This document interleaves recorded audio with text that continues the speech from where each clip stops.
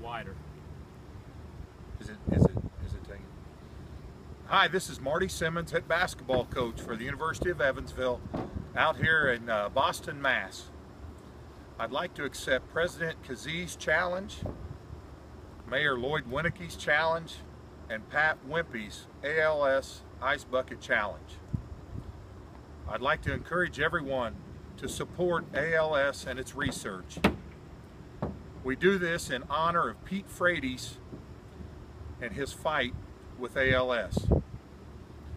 At this time, I would also like to challenge all the ACES fans, all the fans in the Purple Nation, to accept my Ice Bucket Challenge. Here we go. Man, I have